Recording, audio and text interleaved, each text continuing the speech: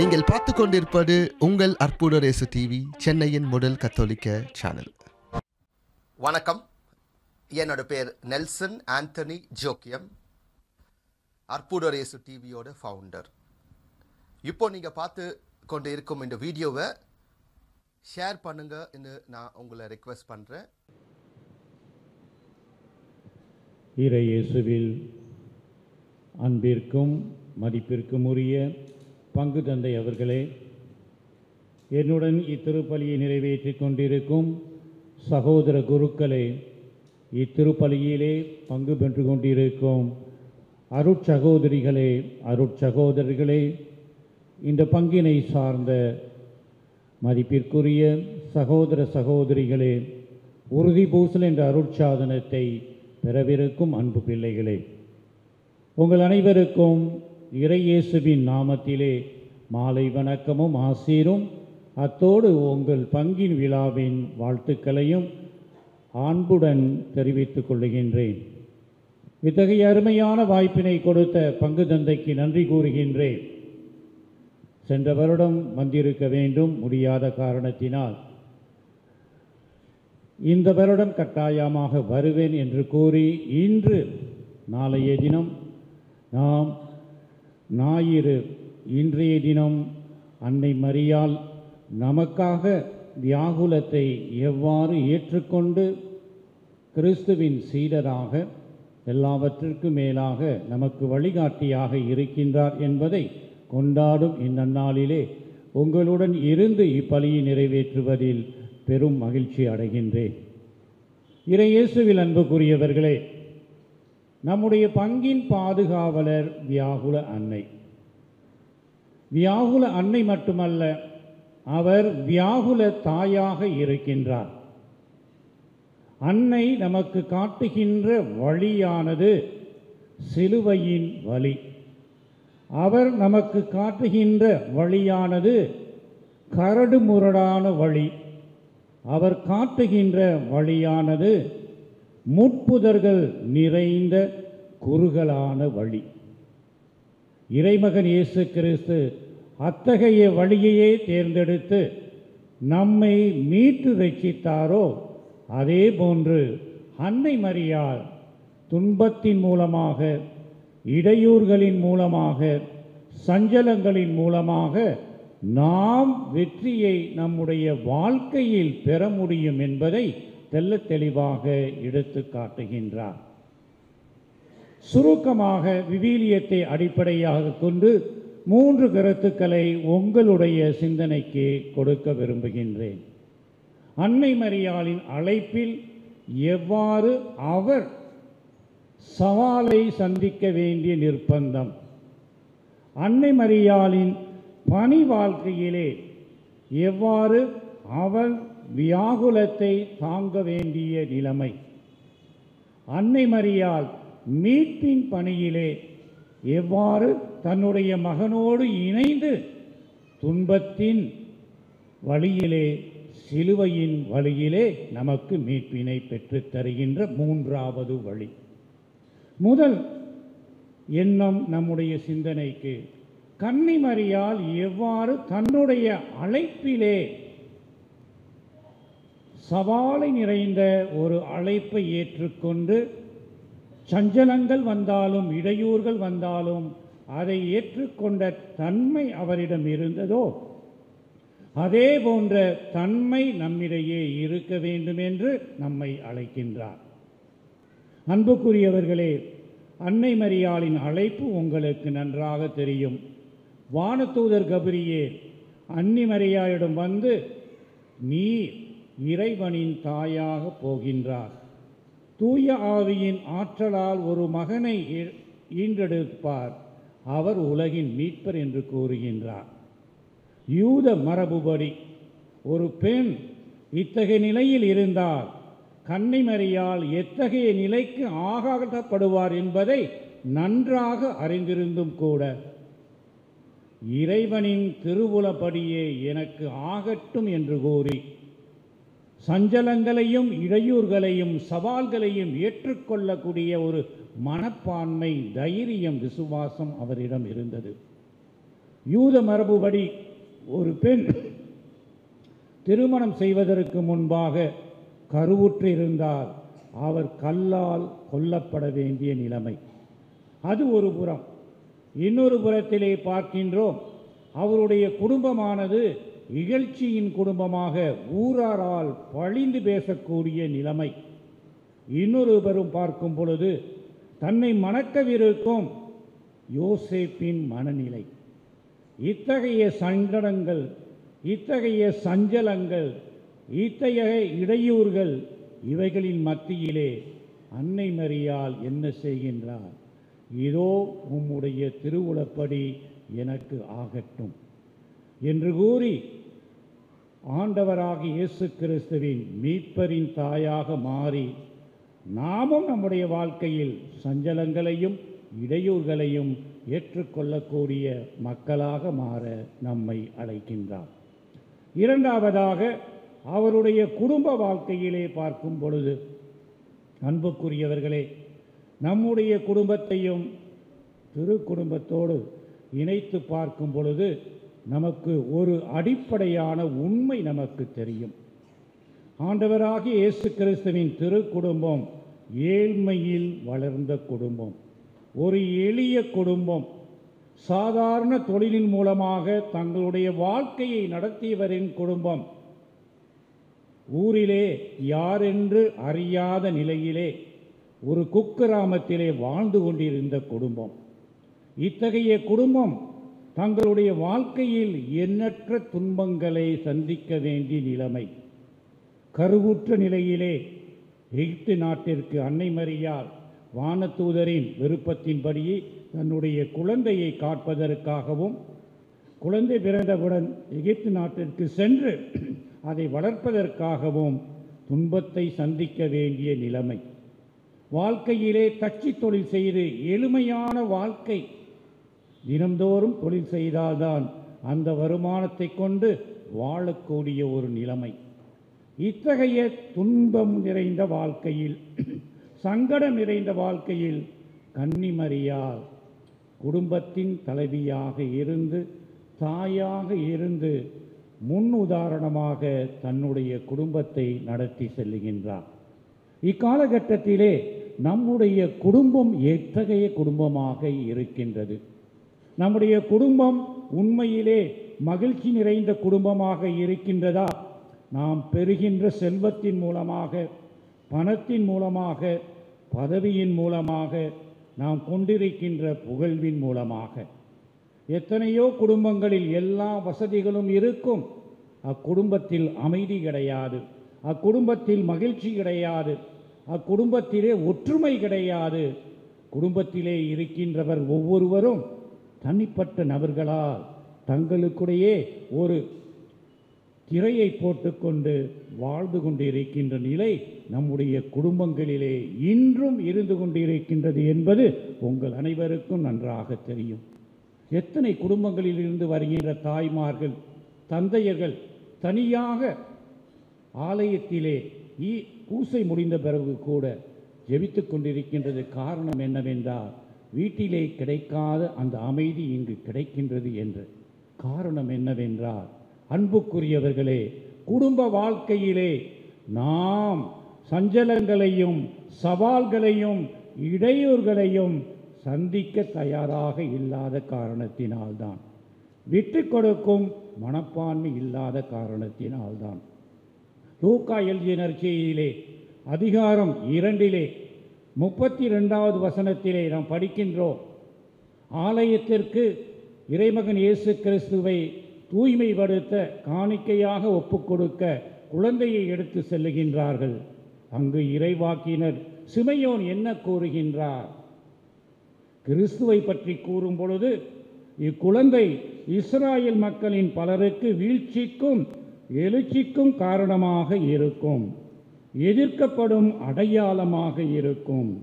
அதே சமயத்திலே கன்னி மரியாலை பார்த்து ஒரு இறைவாக்கினர் கூறுகின்ற வார்த்தை நமக்கு மிகவும் முக்கியமாக இருக்கின்றது. உன் உள்ளத்தையும் ஒரு வாழ் ஊடுருவும். அங்குதான் வியாகுல அன்னை குடும்பத்தின் தாயாக இருக்கும் பொழுது துன்பத்தை சுமைக்கக்கூடிய கல்வாரியின் மலையை நோக்கி செல்லுகின்ற தன்னுடைய மகனின் சிலுவையையே அவர் குழந்தையாக இருக்கும் பொழுது ஏற்றுக்கொள்ளுகின்ற ஒரு மனப்பான்மை. இக்காலகட்டத்திலே நம்முடைய குடும்பத்திலே இருக்கின்ற தாய்மார்கள் அத்தகைய சுமைகளை சுமக்க தயாராக இருக்கின்றோமா?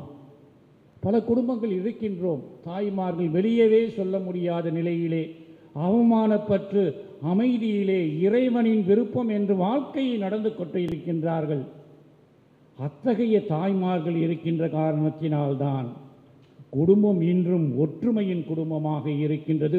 மகிழ்ச்சி இல்லாமல் போயிருந்தால் கூட.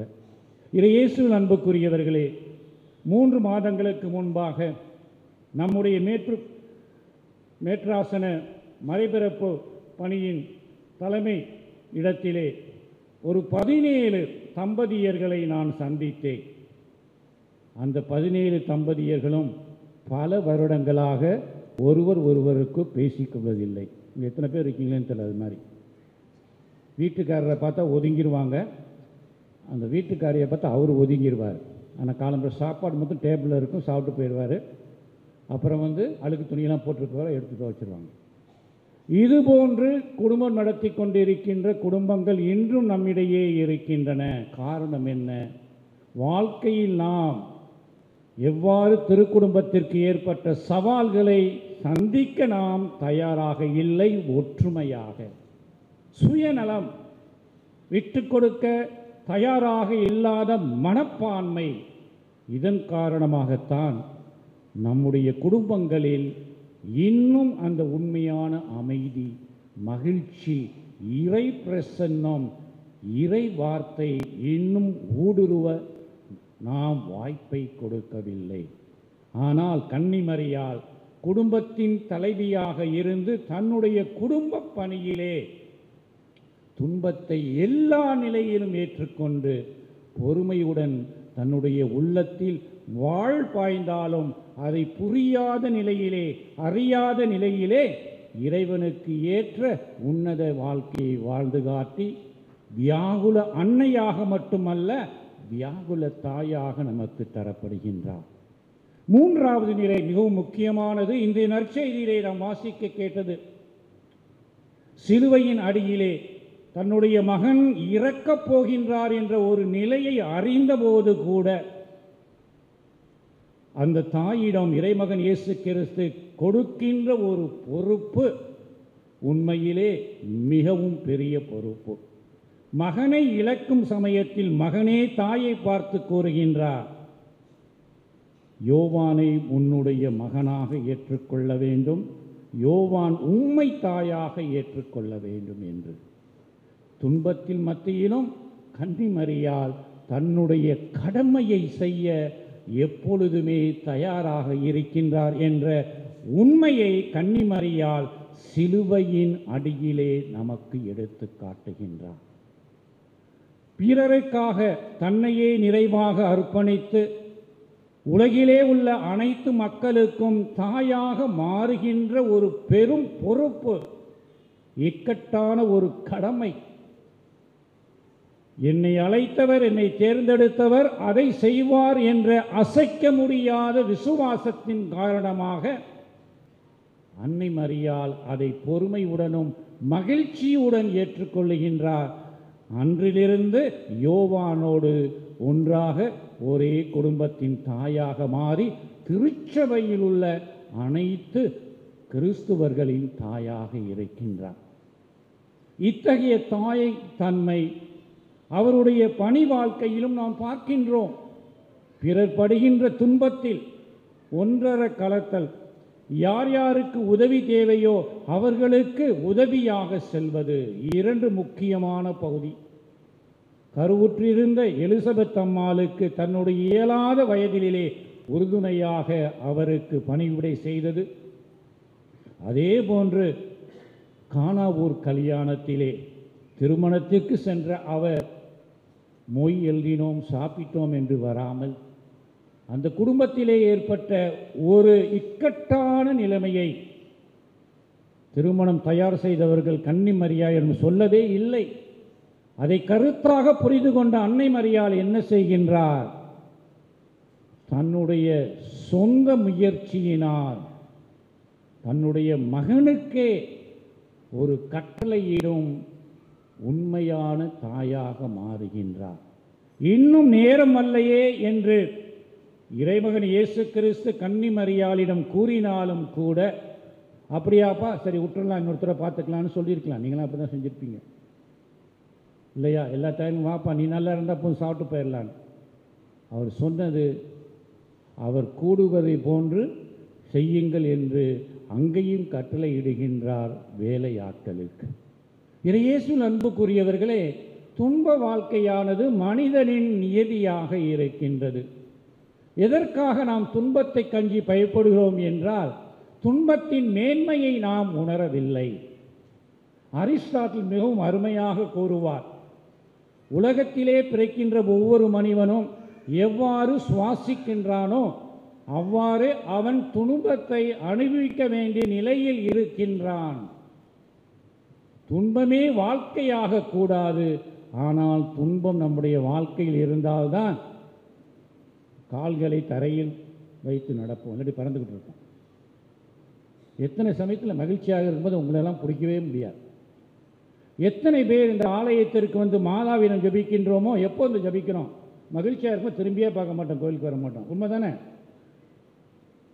கடமைக்கு வந்தாலும் வருவீங்க ஞாயிற்றுக்கிழமை பங்குசாமி பார்ப்பாரேன்னு ஆனால் உண்மையான துன்பம் இருக்கும் பொழுதுதான் ஓடி வருகின்றோம் அன்னையை நோக்கி.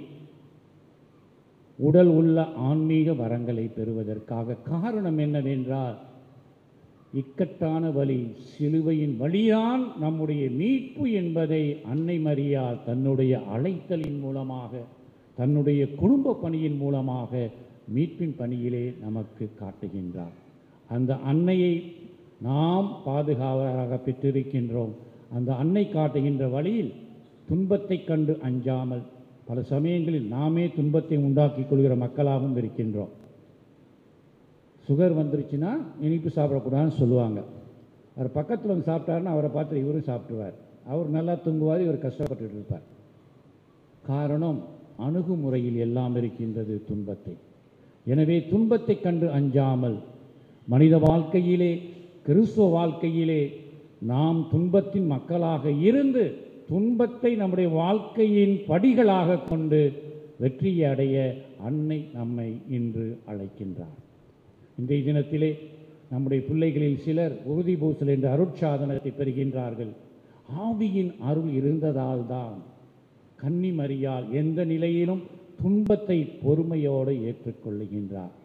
ஆவியின் அருள் நிறைவாக இருந்ததால் தான் இறைமகன் இயேசு கிறிஸ்து எல்லாம் உம்முடைய விருப்பப்படி நடக்கட்டும் என்று கூறி உயர்வுடுகின்றார். காரணம் ஆவி எல்லா சமயங்களிலும் நம்மை நல்ல விதத்திலே இறைவனின் விருப்பத்திற்கு ஏற்ற பாதையிலே துன்பங்களை களைந்து நம்மை அழைத்து செல்லுவார் என்ற ஒரு அருமையான திடமளிக்கும் வளம் அளிக்கும் ஆவியாக இருக்கின்ற காரணத்தினால். அந்த ஆவியானவரை பெற நம்முடைய பிள்ளைகள் இன்று இருக்கின்றார்கள். அந்த பிள்ளைகளுக்காக ஜெபிப்போம். அன்னை மரியால் எவ்வாறு அப்போஸ்தலருடன் ஒன்றாக இணைந்து ஜெபித்தாரோ அதே நிலையிலே நம்முடைய பிள்ளைகளுக்காக இன்று ஜெபிப்போம். ஆயர் என்ற முறையிலே அந்த பிள்ளைகளிடம் சில கேள்விகள் கேட்போம். காரணம் எவ்வாறு அவர்கள் தயார் செய்திருக்கின்றார்கள் என்று. கஷ்டப்பட வேணாம். Don't worry about the question if you know just get up and say your name clearly and say reply it within one or two words கதையெல்லாம் சொல்ல வேண்டிய அவசியம் இல்லை. ஏன்னா அவங்களுக்கு மத் கதையில் அவங்க அம்மா அப்பாவுக்குலாம் தெரியும். எங்களுக்கெல்லாம் தெரியும். ஆமாம் இல்லையா? இல்லைன்னா காரணம். ஆமான்னா காரணம். இதான். அப்படி சொல்லிட்டீங்கன்னா போதும். தவறாக இருந்தாலும் பரவாயில்ல. ம், உங்களால் சொல்ல முடியும்னா சிஸ்டர்ஸ் உட்காந்துருக்காங்க சொல்லுவாங்க. ஏன்னா சிஸ்டர்ஸ் நிறைய பேர் இங்கே இருக்காங்க. அவங்க உதவி செய்வாங்க. நீங்கள் பார்த்து கொண்டிருப்பது உங்கள் அற்புத ரேசு டிவி சென்னையின் முதல் கத்தோலிக்க சேனல் வணக்கம். என்னோட பேர் நெல்சன் ஆண்டனி ஜோக்கியம். அற்புடரேசு டிவியோட ஃபவுண்டர் இப்போ நீங்கள் பார்த்து கொண்டு இருக்கும் இந்த வீடியோவை ஷேர் பண்ணுங்கன்னு நான் உங்களை ரெக்வெஸ்ட் பண்ணுறேன் நீங்கள் ஷேர் பண்ணணுன்னா பக்கத்தில் இருக்கிற சப்ஸ்கிரைப் பட்டனை வந்து நீங்கள் கிளிக் பண்ணுங்கள் அது மட்டும் இல்லாமல் மறக்காமல் அந்த பெல் பட்டனை வந்து நீங்கள் கிளிக் பண்ணிங்கன்னா ஒவ்வொரு வீடியோ நாங்கள் அப்லோட் பண்ணும்போது நீங்கள் அந்த வீடியோவோட ஒரு இன்டிமேஷன் உங்களுக்கு வந்து சேரும். ஸோ அற்புதர் இயேசு டிவியோட ஐயாயிரத்துக்கு மேலான வீடியோஸை நீங்கள் உங்களோட லேப்டாப் கம்ப்யூட்டர் இல்லை ஃபோன் மூலியமாக நீங்கள் அப்பப்போ இன்டர்மேஷன் வந்து நீங்கள் அதை பார்க்கலாம். அது மட்டும் இல்லை நீங்கள் ஷேர் பண்ணும்போது இறைவன் சொன்ன மாரி பிதாசுடன் பரிசுத்த ஆவின் பெயரில் உலகம் எங்கும் நற்செடியை அறிவிங்கள். அதே போல் நீங்கள் ஒவ்வொரு வாட்டி ஷேர் பண்ணும்பொழுது நீங்கள் உங்களோட சார்பில் நீங்கள் ஆண்டவரோட நற்செடியை கொண்டு போகிறீங்க தேங்க்யூ மறக்காமல் இந்த வீடியோக்கு கடைசியில் இருக்கிற அந்த அக்கௌண்ட் டீட்டெயில்ஸ் இருக்குது உங்களுக்கு வேணும்னா நீங்கள் உங்களால் முடிஞ்ச காணிக்கையை நீங்கள் தரலாம். நன்றி. உங்களோட அற்புதர் இயேசு டிவிக்காக Nelson Antony Joachim. Thank you